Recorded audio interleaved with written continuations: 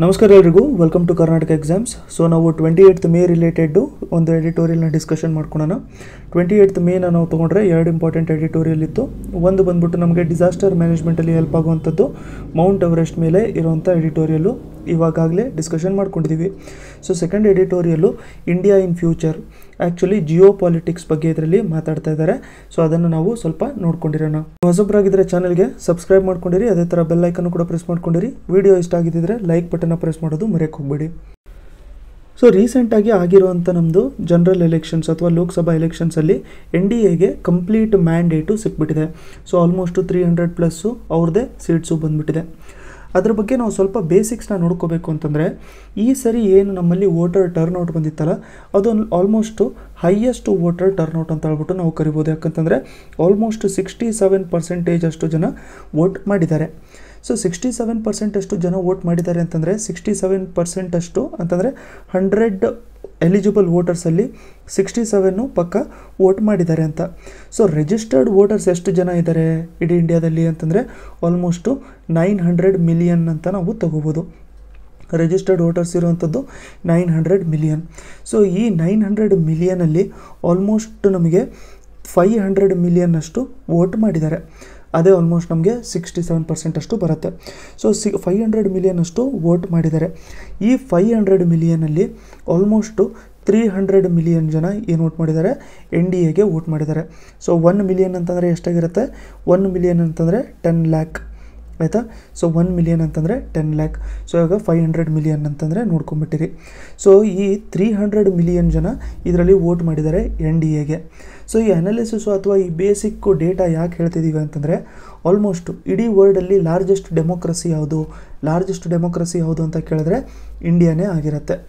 Next India ಆದಮೇಲೆ ಬರುವಂಥ largest democracy ಯಾವುದು ಅಂತಂದರೆ ಯು ಎಸ್ ಎ ಆಗಿರುತ್ತೆ. ಇವಾಗ ಇಂಡಿಯಾ ಆದಮೇಲೆ ಇರುವಂಥದ್ದು U S A largest democracy ಅವರ ಟೋಟಲ್ ಪಾಪ್ಯುಲೇಷನ್ ಎಷ್ಟು? Three hundred and twenty million ಅವರ total ಪಾಪ್ಯುಲೇಷನ್ನೇ three hundred and twenty million so ಯಾಕೆ ಹೇಳ್ತಿದ್ದೀನಿ ಅಂತಂದರೆ, ನಮ್ಮಲ್ಲಿ ಆಲ್ಮೋಸ್ಟು ತ್ರೀ ಹಂಡ್ರೆಡ್ ಮಿಲಿಯನ್ ಜನ ಡೈರೆಕ್ಟಾಗಿ ಎನ್ ಡಿ ಎಗೆ ವೋಟ್ ಹಾಕಿದ್ದಾರೆ. ಅಂತಂದರೆ complete U S A population ಅಷ್ಟು ಆಲ್ಮೋಸ್ಟ್ ಎಗೆ ವೋಟ್ ಹಾಕಿದ್ದಾರೆ ಅಂತ ಹೇಳ್ಬಿಟ್ಟು ನಾವು ತೊಗೊಂಡಿರ್ಬೋದು. ಸೊ ಈ ಮ್ಯಾಂಡೇಟು ಅಥವಾ ಈ ಥರ ರೈಟ್ಸ್ ಕೊಟ್ಟಿರುವಂಥದ್ದು ಒಂದು ದೊಡ್ಡ ರೆಸ್ಪಾನ್ಸಿಬಿಲಿಟಿ ಆಗಿರುತ್ತೆ ಇವಾಗಿರುವಂಥದ್ದು ಬಿ ಜೆ ಪಿ ಗೌರ್ಮೆಂಟ್ ಮೇಲೆ. ಯಾಕೆ ಅಂತಂದರೆ ಫಸ್ಟ್ ಆಫ್ ಆಲು ಅವರು ಮಾಡಿರುವಂಥ ಕೆಲಸ ನೋಡಿಕೊಂಡು ಅವ್ರಿಗೆ ವೋಟ್ ಮಾಡಿದ್ದಾರೆ. ಸೊ ಏನೇನು ಕೆಲಸ ಮಾಡಿದ್ದಾರೆ? ನೆಕ್ಸ್ಟು ಫ್ಯೂಚರಲ್ಲಿ ಇಂಡಿಯಾ ಸೂಪರ್ ಪವರ್ ಆಗಬೇಕು. ಇಂಡಿಯಾ ಸೂಪರ್ ಪವರ್ ಆಗಬೇಕು ಅಂತಂದರೆ ಏನು ಸ್ಟೆಪ್ಸ್ ತೊಗೋಬೋದು ಅವರು? ಇಂಡಿಯಾದು ಇಮೇಜ್ ಯಾವ ಥರ ನಾವು ಇನ್ನು ಇನ್ಕ್ರೀಸ್ ಮಾಡ್ಕೋಬೋದು ಅಂತ ಹೇಳ್ಬಿಟ್ಟು ನೋಡ್ಕೊಂಡಿರೋಣ. ಇವಾಗ ಬೇಸಿಕಲಿ ಅವ್ರು ಫಸ್ಟ್ ಯಾವುದ್ರ ಮೇಲೆ ಕಾನ್ಸಂಟ್ರೇಟ್ ಮಾಡ್ತಿದ್ದಾರೆ ಅಂತಂದರೆ ಜಾಸ್ತಿ ಜಾಬ್ಸ್ಗಳನ್ನ ಜನ್ರೇಟ್ ಮಾಡಬೇಕು ಮತ್ತು ಎಕನಾಮಿ ನಮ್ಮದು ಇನ್ನೂ ಸ್ಟ್ರಾಂಗ್ ಆಗಬೇಕು. ಇವಾಗ ಏನು ಬೆಳೀತಾ ಇದೆ ನಮ್ಮದು seven point one seven point two seven point three percentage ಅದು ಇನ್ನೂ ನಮಗೆ ಸ್ಟ್ರಾಂಗ್ ಆಗಬೇಕು, ಇನ್ನೂ ಚೆನ್ನಾಗಿ ಬೆಳಿಬೇಕು ಅನ್ನೋದೇ ಒಂದು ಮೇನ್ ಏಮ್ ಆಗಿರುತ್ತೆ. ಅದರ ಜೊತೆಗೆ ನಾವು ಇದರಲ್ಲಿ ಏನು ಕಾನ್ಸಂಟ್ರೇಟ್ ಮಾಡ್ತಿದ್ದೀವಿ ಅಂತಂದರೆ geopolitics so geopolitics ಮೇಲೆ ನಾವು ಇದರಲ್ಲಿ ಕಾನ್ಸಂಟ್ರೇಟ್ ಮಾಡ್ತಾ ಇರ್ತೀವಿ. ಇದರಲ್ಲಿ ಏನು ಬರ್ ಬಂದಿರುತ್ತೆ ಅಂತಂದರೆ ಬೇರೆ ಬೇರೆ ಥರದ್ದು ಫೋರಮ್ ಫೋರಮ್ಗಳು ಸೊ ಇಂಡಿಯಾ ತನ್ನ ರೋಲ್ ಏನೇನಿದೆ ಬೇರೆ ಫೋರಮ್ಗಳಲ್ಲಿ ಆ ರೋಲ್ ಏನಿದೆ ಅದನ್ನು ಇನ್ನು ಎನೌನ್ಸ್ ಮಾಡಬೇಕು. ಅದೇ ಒಂದು ಫಸ್ಟು ಸ್ಟೆಪ್ ತೊಗೋಬೇಕು. ಅದಕ್ಕೋಸ್ಕರನೇ ಇಂಡಿಯಾ ಇಷ್ಟು ವರ್ಷ ಅಂತಂದರೆ ಪ್ರೀವಿಯಸ್ ಫೈವ್ ಇಯರ್ಸು ಅದಕ್ಕೋಸ್ಕರನೇ ಇಂಡಿಯಾನೂ ಕೂಡ ಕೆಲಸ ಮಾಡಿರುವಂಥದ್ದು. ನಮ್ಮ ಪ್ರೈಮ್ ಮಿನಿಸ್ಟರ್ ಅವರು ಕೂಡ ಬೇರೆ ಬೇರೆ ದೇಶ ವಿಸಿಟ್ ಮಾಡ್ತಾಯಿದ್ರು ಯಾಕಂತಂದರೆ ಜಿಯೋ ಪೊಲಿಟಿಕ್ಸಲ್ಲಿ ನಮ್ಮದು ಕೂಡ ಹೋಲ್ಡ್ ಏನಿರುತ್ತೆ ಅದು ಸ್ವಲ್ಪ ಜಾಸ್ತಿ ಆಗಬೇಕು ಅಂತ. ಅದರ ಹೋಲ್ಡಲ್ಲಿ ನಾವು ನೋಡ್ಕೋಬೇಕು ಇಂಡಿಯಾ ಮಾಡಿರುವಂಥ ಅಚೀವ್ಮೆಂಟ್ಸ್ ಯಾವುದಾವುದು ಅಂತಂದರೆ ಇಂಟರ್ನ್ಯಾಷನಲ್ ಸೋಲಾರ್ ಅಲಯನ್ಸ್ ಮಾಡಿಸಿದ್ರು. ಸೊ ಅದಾದಮೇಲೆ ಪ್ಯಾರಿಸ್ ಕ್ಲೈಮೇಟ್ ಚೇಂಜಲ್ಲಿ ನಮ್ಮದು nationally determined contributions nationally determined contributions ನಾವು ಏನೇನು ರಿಡ್ಯೂಸ್ ಮಾಡ್ತೀವಿ, ಎಷ್ಟು ಪರ್ಸೆಂಟ್ವರೆಗೂ ರಿಡ್ಯೂಸ್ ಮಾಡ್ತೀವಿ, ಆ ಥರದ್ದೆಲ್ಲ ಅದಾದಮೇಲೆ ಇಂಡಿಯಾ ತನ್ನ ಸಾಫ್ಟ್ ಪವರ್ ಆಗಿ, ಯೋಗ ಮೂಲಕ ತನ್ನ ಸಾಫ್ಟ್ ಪವರ್ ಆಗಿ ಕೂಡ ನಿಂತ್ಕೊಂಡ್ಬಿಟ್ಟಿತ್ತು. ಅದಾದಮೇಲೆ ಜೂನ್ ಟ್ವೆಂಟಿ ಫಸ್ಟ್ನ ನಾವು ಪ್ರತಿ ವರ್ಷ ಇವಾಗ ಇಂಟರ್ನ್ಯಾಷನಲ್ ಯೋಗ ಡೇ ಅಂತಲೂ ಕೂಡ ನಾವು ಸೆಲೆಬ್ರೇಟ್ ಮಾಡ್ಕೊಂಡಿರ್ತೀವಿ. ಯಾಕಂತಂದರೆ ಅದನ್ನು ಇಂಡಿಯಾನೇ ಪ್ರಮೋಟ್ ಮಾಡಿರುವಂಥದ್ದು ಸೊ ಈ ಸಾಫ್ಟ್ ಪವರ್ ಆಗಿರಲಿ solar alliance energy related Paris climate change ಇವೆಲ್ಲದರಿಂದನೂ ಕೂಡ ನಮಗೇನು ಗೊತ್ತಾಗುತ್ತೆ ಅಂತಂದರೆ ಇಂಡಿಯಾದು ಪವರು ಅಥವಾ ಹೋಲ್ಡು ಮುಂಚೆ ಯಾವ ಥರ ಇತ್ತು, ಅದು ಇವಾಗ ಚೇಂಜ್ ಆಗ್ತಿದೆ. ಇನ್ನು ಸ್ವಲ್ಪ ಡೆವಲಪ್ ಆಗ್ತಿದೆ. ಒಂದು ಗ್ಲೋಬಲ್ ಲೀಡರ್ ಆಗಿ ಎಸ್ಟಾಬ್ಲಿಷ್ ಆಗ್ತಾ ಇರುತ್ತೆ. ಬಟ್ ಇನ್ನು ಇಂಡಿಯಾ ಯಾವುದ್ರ ಮೇಲೆ ಕೆಲಸ ಮಾಡಬೇಕು ಅಂತಂದರೆ ಈ ಥರ ನಾರ್ಮಲ್ ಫೋರಮ್ಗಳೇ ಏನಿರ್ತಾವಲ್ಲ ಅದ್ರ ಮೇಲೆ. ಎಕ್ಸಾಂಪಲ್ ನಾವು ಸಾರ್ಕ್ ತಗೋಬೋದು, ಅಥವಾ ಇಂಡಿಯಾ ಬ್ರೆಜಿಲ್ ಸೌತ್ ಆಫ್ರಿಕಾ ಅದಾದಮೇಲೆ ಬೀಮ್ ಸ್ಟೇಕು ಅದಾದಮೇಲೆ ಬೀಮ್ ಸ್ಟೆಕ್ ಆಗಿರ್ಬೋದು, ಅದಾದಮೇಲೆ ಜಿ ಟ್ವೆಂಟಿ ಆಗಿರ್ಬೋದು. ಸೊ ಈ ಥರದ್ದು ಬೇರೆ ಬೇರೆ ಫೋರಮ್ಗಳೆಲ್ಲ ಏನು ಬರ್ತವೆ? ಅದರಲ್ಲಿ ಇಂಡಿಯಾ ತನ್ನ ಹೋಲ್ಡನ್ನು ಇನ್ನೂ ಸ್ವಲ್ಪ ಜಾಸ್ತಿ ಮಾಡಬೇಕು. ಇವಾಗ ರೀಸೆಂಟಾಗಿ ಅನೌನ್ಸ್ ಮಾಡಿರೋ ಹಂಗೆ ನಮ್ಮ ಪ್ರೈಮ್ ಮಿನಿಸ್ಟರ್ ಅವರು ತರ್ಟಿ ಎತ್ತಿಗೆ ಅವರು ಸ್ವೇರಿಂಗ್ ಇನ್ ಸೆನಿ ಸೆರೆಮನಿ ಇರುತ್ತೆ. ಆ ಟೈಮಲ್ಲಿ ಸ್ಟೆಕ್ಕಿನ ಎಲ್ಲ ಕಂಟ್ರೀಸ್ ಹೆಡ್ಸ್ನ ಅವರು ಇನ್ವೈಟ್ ಮಾಡಿದ್ದಾರೆ ಎಕ್ಸೆಪ್ಟು ಪಾಕಿಸ್ತಾನ್ ಸೊ ಪಾಕಿಸ್ತಾನಿನ ಹೆಡ್ಡನ್ನು ಅವರು ಇನ್ವೈಟ್ ಮಾಡಿಲ್ಲ. ಯಾಕಂತಂದರೆ ನಮ್ಮದು ಅವ್ರದ್ದು ರಿಲೇಷನ್ಸ್ ಅಷ್ಟೊಂದು ನೀಟಾಗಿ ನಡೀತಾ ಇಲ್ಲ. ಜೊತೆಗೆ ಇದರಲ್ಲಿ ಏನು ಹೇಳ್ತಿದ್ದಾರೆ ಅಂತಂದರೆ ಟೆಕ್ನಾಲಜಿ ಸ್ಪಿಯರಲ್ಲೂ ಕೂಡ ಇಂಡಿಯಾ ಇನ್ನೂ ಸ್ವಲ್ಪ ಕೆಲಸ ಮಾಡ್ಕೋಬೇಕು ಅಂತ. ಯಾಕೆ ಅಂತಂದರೆ ಟೆಕ್ನಾಲಜಿನೇ ನೆಕ್ಸ್ಟು ಅಂತಂದರೆ ನೆಕ್ಸ್ಟು ಇನ್ನು ಫೈ ಅಥವಾ ಟೆನ್ ಇಯರ್ಸ್ ಅಂತ ತೊಗೊಂಡ್ರೆ ಯಾವ ದೇಶ ಟೆಕ್ನಾಲಜಿಯಲ್ಲಿ ಅಡ್ವಾನ್ಸ್ ಆಗಿರುತ್ತಲ್ಲ ಟೆಕ್ನಾಲಜಿಯಲ್ಲಿ ಯಾವ ದೇಶ ಅಡ್ವಾನ್ಸ್ ಆಗಿರುತ್ತೆ, ಆ ದೇಶನೇ ನೆಕ್ಸ್ಟು ಸೂಪರ್ ಪವರ್ ಆಗಿರೋವಂಥದ್ದು. ಅದಕ್ಕೋಸ್ಕರನೇ ಪ್ರೊಡಿಕ್ಷನ್ ಏನು ಹೇಳ್ತಿರ್ತವೆ ಅಂತಂದರೆ, ಚೈನಾನೇ ಫ್ಯೂಚರಲ್ಲಿ ಸೂಪರ್ ಪವರ್ ಆಗಿರುತ್ತೆ ಅಂತ. ಯಾಕಂತಂದರೆ ಚೈನಾದಲ್ಲಿ ಟೆಕ್ನಾಲಜಿಕಲ್ ಅಡ್ವಾನ್ಸಸ್ಸು ತುಂಬ ಚೆನ್ನಾಗಿ ಮಾಡ್ತಾ ಇರ್ತಾರೆ. ಯಾಕಂತಂದರೆ ಎಲ್ಲರೂ ಕೂಡ ಇವಾಗ ತ್ರೀ ಡಿ ಡೆವಲಪ್ಮೆಂಟ್ ಮಾಡ್ತಾ ಇದ್ದರೆ ಸೊ ತ್ರೀ ಡಿ ಮಾಡಲು ಬೇರೆ ಬೇರೆ ಡೆವಲಪ್ ಮಾಡ್ತಾ ಇದ್ದಾರೆ ಅವರು ತ್ರೀ ಡಿ ಮಾಡಲಲ್ಲಿ ಬ್ರಿಡ್ಜಸ್ ಕಟ್ಬಿಡೋವಂಥದ್ದು ಅಥವಾ ಬಿಲ್ಡಿಂಗ್ಸ್ ಕಟ್ಬಿಡೋವಂಥದ್ದು ಆ ಥರದ್ದು. ಅಂತಂದರೆ ಎಲ್ಲರ್ಕಿನ್ನೂ ಕೂಡ ಫಾರ್ವರ್ಡ್ ಆಗಿ ಕೆಲಸ ಮಾಡ್ತಾ ಇದ್ದಾರೆ.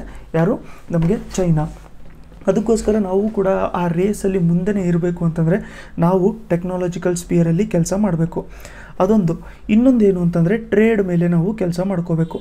ಇವಾಗ ನೋಡಿ, ನಾವು ಬೇರೆ ಆಸಿಯಾನ್ ಕಂಟ್ರೀಸ್ ಅಂತ ನಾವೇನಾದ್ರು ತೊಗೊಂಡ್ರೆ, ಆಸಿಯಾನ್ ಇದೇನು ಫೋರಮ್ ಇದೆ, ಆಸಿಯಾನ್ ಕಂಟ್ರೀಸ್ ಅಂತ ತೊಗೊಂಡ್ರೆ ಅವ್ರದ್ದು ಟ್ರೇಡು ಎಷ್ಟು ನಡೆಯುತ್ತೆ ಅಂತಂದರೆ ಆಲ್ಮೋಸ್ಟ್ ಐವತ್ತರಿಂದ ಅರವತ್ತು ಪರ್ಸೆಂಟೇಜ್ ಅಂತ ತೊಗೊಳೋಣ ನಾವು.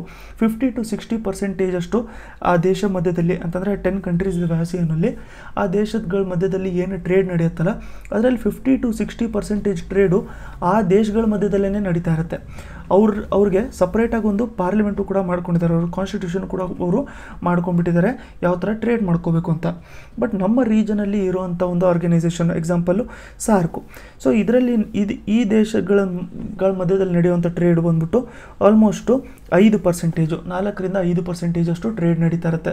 ಯಾಕೆ ಅಂತಂದರೆ ಇಂಡಿಯಾ ಮತ್ತು ಪಾಕಿಸ್ತಾನ ಮಧ್ಯದಲ್ಲಿ ಇರುವಂಥ ಡಿಫ್ರೆನ್ಸಸ್ಸು ಆ ಆ ರೀತಿಯಲ್ಲಿ ಏನು ನಡೀತಾ ಇದೆ ಈಗ ಡಿಫ್ರೆನ್ಸಸ್ಸು ಅದನ್ನು ಫಸ್ಟ್ ಆಫ್ ಆಲ್ ನಾವು ರೆಕ್ಟಿಫೈ ಮಾಡ್ಕೊಂಡಿರಬೇಕು. ಆ ಡಿಫ್ರೆನ್ಸಸ್ ನಾವು ರೆಕ್ಟಿಫೈ ಮಾಡ್ಕೊಳ್ಳಿಲ್ಲ ಅಂತಂದರೆ ಟ್ರೇಡಲ್ಲೂ ಕೂಡ ನಾವು ಹಿಂದೆ ಉಳ್ಕೊಂಡ್ಬಿಟ್ಟಿರ್ತೀವಿ. ಅದರ ಜೊತೆಗೆ ಇಂಡಿಯಾ ಯಾವುದ್ರ ಮೇಲೆ ಕಾನ್ಸಂಟ್ರೇಟ್ ಮಾಡ್ಕೋಬೇಕು ಅಂತಂದರೆ ಗ್ಲೋಬಲಿ ಪ ಪ್ರಾಬ್ಲಮ್ಗಳೆಲ್ಲ ಏನಿದಾವಲ್ಲ, ಅದಕ್ಕೆ ಒಂದು ಇಂಡಿಯನ್ ವೇಯಲ್ಲಿ ಸೊಲ್ಯೂಷನ್ನ ಪ್ರೊವೈಡ್ ಮಾಡುವಂಥದ್ದು. ಸೊ ಇಂಡಿಯನ್ ವೇಯಲ್ಲಿ ಸೊಲ್ಯೂಷನ್ನ ಪ್ರೊವೈಡ್ ಮಾಡುವಂಥದ್ದು. ಅದ್ರ ಮೇಲೆ ನಾವು ಕಾನ್ಸಂಟ್ರೇಟ್ ಮಾಡ್ಕೋಬೇಕು. ಓವರಾಲ್ ಆಗಿ ಇಡೀ ಎಡಿಟೋರಿಯಲಲ್ಲಿ ಏನು ಹೇಳ್ತಿದ್ದಾರೆ ಕೊನೆ ಕೊನೆಗೆ ಅಂತಂದರೆ ಟೆಕ್ನಾಲಜಿನೇ ಇಂಪಾರ್ಟೆಂಟು ಇವಾಗ ಸರ್ಕಾರ ಬಿ ಜೆ ಪಿಯವ್ರದ್ದು ಬಂದಿರೋದ್ರಿಂದ, ಅವರು ಫೋರಮ್ಗಳ ಮೇಲೆ ಕಾನ್ಸಂಟ್ರೇಟ್ ಮಾಡಬೇಕು. ಅಂತಂದರೆ ಇಂಡಿಯಾದು ಸಾಫ್ಟ್ ಪವರ್ನ ಇನ್ನೂ ಡೆವಲಪ್ ಮಾಡಿಬಿಟ್ಟು ಗ್ಲೋಬಲಿ ಇಂಡಿಯಾದ ಹೆಸರನ್ನ ಇನ್ನೂ ಸ್ವಲ್ಪ ಡೆವಲಪ್ ಮಾಡಬೇಕು. ಜೊತೆಗೆ ನಮ್ಮ ಎಕನಾಮಿನ ಇಂಪ್ರೂವ್ ಮಾಡ್ಕೋಬೇಕು. ಅದರ ಜೊತೆಗೆ ಟೆಕ್ನಾಲಜಿಯಲ್ಲಿ ನಾವು ಅಡ್ವಾನ್ಸ್ಮೆಂಟ್ ಮಾಡ್ಕೋಬೇಕು ಅಂತ ಹೇಳ್ಬಿಟ್ಟು ಹೇಳ್ತಾ ಇದ್ದಾರೆ. ಅದರ ಜೊತೆಗೆ ಮೋಸ್ಟ್ ಇಂಪಾರ್ಟೆಂಟ್ ಪಾಯಿಂಟ್ ಏನು ಹೇಳ್ತಿದ್ದಾರೆ, ಅದನ್ನು ನಾವು ಎಥಿಕ್ಸಲ್ಲಿ ಏನು ಯೂಸ್ ಮಾಡ್ಕೋಬೋದು ಅಂತಂದರೆ Indian way to solve global problems globally ಏನು ಪ್ರಾಬ್ಲಮ್ಸ್ ಇದ್ದಾವೆ ಅದನ್ನು ಇಂಡಿಯನ್ ರೀತಿಯಲ್ಲಿ ನಾವು ಸಾಲ್ವ್ ಮಾಡ್ಕೊಳ್ಳೋಂಥದ್ದು ಇದಕ್ಕೊಂದು ಎಕ್ಸಾಂಪಲ್ ಹೇಳ್ಬೋದು ಅಂತಂದರೆ, ಈಗ ನೋಡಿ ಯಾವುದೋ ಒಂದು ದೇಶ ಇದೆ ಅಂತ ಅಂದ್ಕೊಂಡೋಣ ಎಕ್ಸ್ ಅಂತ. ಸೊ ಈ ಎಕ್ಸ್ ದೇಶದಲ್ಲಿ ಒಂದು ಕಮ್ಯುನಿಟಿ ಮತ್ತು ಇನ್ನೊಂದು ಕಮ್ಯುನಿಟಿ ಎರಡೇ ಕಮ್ಯುನಿಟಿ ಮಧ್ಯದಲ್ಲಿ ಫೈಟ್ಸ್ ಆಗ್ತಿದ್ದಾವೆ ಅಂತ. ಸೊ ಅವಾಗ ಇಂಡಿಯಾನೂ ಕೂಡ ಸ್ಟೆಪ್ ಇನ್ ಮಾಡ್ಕೋಬೋದು. ಯಾಕಂತಂದರೆ ಇಂಡಿಯಾದಲ್ಲಿ ನೋಡಿ ಎಷ್ಟು ಡೈವರ್ಸಿಟಿ ಇದೆ, ಎಷ್ಟು ಬೇರೆ ಬೇರೆ ಕಮ್ಯುನಿಟಿಯವರು ಜೊತೆಗೆ ಉಳ್ಕೊಂಡಿರ್ತಾರೆ. ಹಾಗಂತ ಇಂಡಿಯಾದಲ್ಲಿ ಫೈಟ್ಸ್ ಆಗೋದೇ ಇಲ್ಲ ಅಂತಲ್ಲ ಇಂಡಿಯಾದಲ್ಲೂ ಕೂಡ ಫೈಟ್ಸ್ ಆಗ್ತವೆ. ಬಟ್ ಬೇರೆ ದೇಶದಲ್ಲಿ ಹೋಗಂಗೆ ಎಕ್ಸ್ಟ್ರೀಮ್ ಲೆವೆಲಲ್ಲಿ ಇಂಡಿಯಾದಲ್ಲಿ ಹೋಗ್ತಾರಲ್ಲ ಸೊ ಅದನ್ನು ಒಂದು ಎಕ್ಸಾಂಪಲ್ ಆಗಿ ತೊಗೊಂಡು ಸಾಲ್ವ್ ಮಾಡ್ಕೊಳ್ಳೋವಂಥದ್ದು, ಯೋಗನ ಇನ್ನೂ ಸ್ವಲ್ಪ ಜಾಸ್ತಿ ಪ್ರಮೋಟ್ ಮಾಡುವಂಥದ್ದು. ಏನ್ಷಂಟು ನಮ್ಮದೇನು ಮೆಡಿಸಿನ್ ಇದ್ದಾವೆ ಅದನ್ನು ನಾವು ಪ್ರಮೋಟ್ ಮಾಡೋವಂಥದ್ದು. ಇವಾಗ ನಾವು ಎಕ್ಸಾಂಪಲು ಆಯುರ್ವೇದ ಮೇಲೆ ಜಾಸ್ತಿ ಕಾನ್ಸಂಟ್ರೇಟ್ ಮಾಡೋವಂಥದ್ದು. ಸೊ ಈ ಥರದ್ದೆಲ್ಲ ಮಾಡಿಕೊಂಡ್ರೆ ಓವರಾಲ್ ಆಗಿ ಇಡೀ ವರ್ಲ್ಡಲ್ಲಿ ಪ್ರಾಬ್ಲಮ್ ಏನಿದೆ, ಅದಕ್ಕೆ ಇಂಡಿಯಾ ಏನಾದ್ರು ಇಂಡಿಯನ್ ರೀತಿಯಲ್ಲಿನೇ ಒಂದು ಸೊಲ್ಯೂಷನ್ನ ಪ್ರೊವೈಡ್ ಮಾಡಿದರೆ ಇಂಡಿಯಾದು ರೆಸ್ಪೆಕ್ಟು ಮತ್ತು ವ್ಯಾಲ್ಯೂ ಏನಿದೆಯಲ್ಲ, ಮತ್ತು ಪವರ್ ಏನಿದೆಯಲ್ಲ, ಅದು ಇನ್ನೂ ಸ್ವಲ್ಪ ಜಾಸ್ತಿ ಆಗ್ತಾ ಆಗ್ತಾ ಹೋಗುತ್ತೆ ಅಂತ ಹೇಳ್ಬಿಟ್ಟು ಇವರು ಕನ್ಕ್ಲೂಡ್ ಮಾಡ್ತಾ ಇದ್ದಾರೆ ಸೊ ವಿಡಿಯೋ ನಿಮ್ಗೆ ಇಷ್ಟ ಆಗಿದ್ದು ಬೆನಿಫಿಷಿಯಲ್ ಅಂತ ಅನಿಸಿದ್ರೆ ಈ ಕಡೆ ಲೈಕ್ ಬಟನ್ನು ಕೂಡ ಪ್ರೆಸ್ ಮಾಡಿರಿ. ಹಾಗೆ ಸಬ್ಸ್ಕ್ರೈಬ್ ಮಾಡ್ಕೊಂಡಿಲ್ಲ ಚಾನಲ್ಗೆ ಅಂತಂದರೆ ಇಲ್ಲಿ ಸಬ್ಸ್ಕ್ರೈಬ್ ಬಟನ್ನ ಪ್ರೆಸ್ ಮಾಡಿಕೊಂಡು ಸಬ್ಸ್ಕ್ರೈಬು ಕೂಡ ಮಾಡ್ಕೊಂಡಿರಿ. ಹಾಗೆ ಬೆಲ್ ಐಕನ್ನು ಕೂಡ ಒತ್ಕೊಂಡಿರಿ. ಅಂತಂದರೆ ನೆಕ್ಸ್ಟ್ ಟೈಮ್ ನಾನು ವಿಡಿಯೋ ಹಾಕಿದ ತಕ್ಷಣ ನಿಮಗೆ ನೋಟಿಫಿಕೇಶನ್ ತಕ್ಷಣವೇ ಬಂದುಬಿಟ್ಟಿರುತ್ತೆ.